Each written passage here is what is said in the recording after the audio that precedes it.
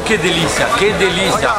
Você sabe o que eu vou fazer? Eu vou instalar a mesa 9 aqui no meio e a gente vai almoçar aqui, vai ficar muito bom. Muito bom preço. Argentina, isso daqui, a gente não...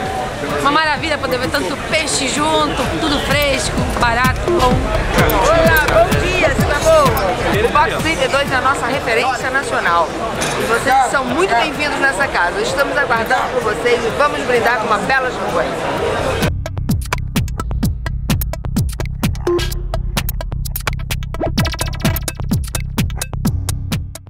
Estamos aqui no Box 32, no mercado municipal. Nós estamos aqui comemorando a décima edição da Fina Ostra e sem dúvida alguma nós poderíamos esquecer do nosso amigo Beto, que realmente além de um amigo, é uma pessoa fantástica e maravilhosa. O que seria da nossa Fena Ostra se vocês não viessem prestigiar?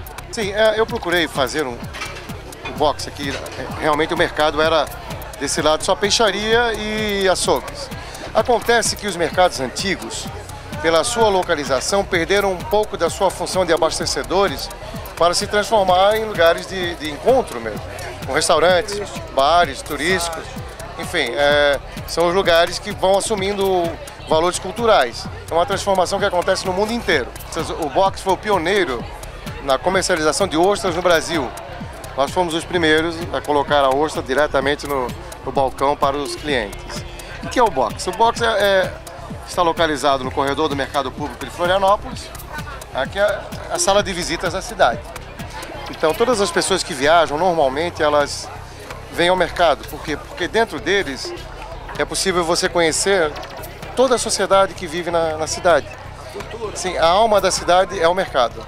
E é aqui que acontece a verdadeira misturança. Entende? O, povo, o povo se encontra, você tem o médico, o operário, tem é, o industrial, entende? Tem uma verdadeira misturança. É o lugar onde tudo acontece e todos saem muito felizes. Gravando!